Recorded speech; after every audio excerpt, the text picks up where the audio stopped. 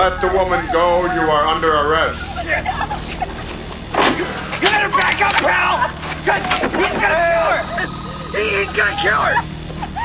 Got this bitch! He's, he's gonna kill her, man! this bitch! He's gonna kill her! Oh! Oh! Oh! Oh! Your move, creep.